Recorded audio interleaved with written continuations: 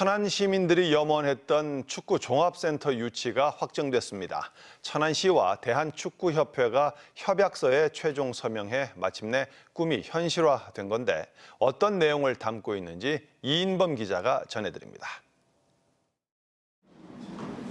천안시장과 대한축구협회장이 축구 종합센터 확약서에 활용 점정을 찍습니다. 지난 1월 유치전에 뛰어든 천안 시민들의 꿈이 이루어지는 순간입니다. 꿈이 아, 현실로 이루어졌습니다. 아, 차질 없는 사업 진행을 통해서 지역 경제 활성화는 물론이고 아, 세계 축구의 메카로서 협약서에는 47만 8천여 제곱미터에 천안시가 1,100억 원, 대한축구협회가 458억 원을 투자하는 내용을 담고 있습니다. 12개의 인조 천연 잔디구장과 소형 스타디움, 실내 훈련장, 축구 박물관, 실내 체육관 등 시설이 들어섭니다. 천안시가 부담할 1,100억 원은 국비 200억 원과 도비 400억 원을 포함하고 있습니다.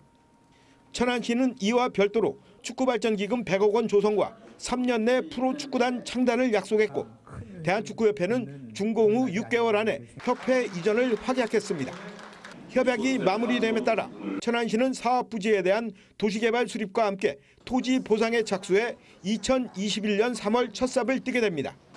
2024년 1월이면 세계 최고 수준의 축구 종합센터가 완공됩니다.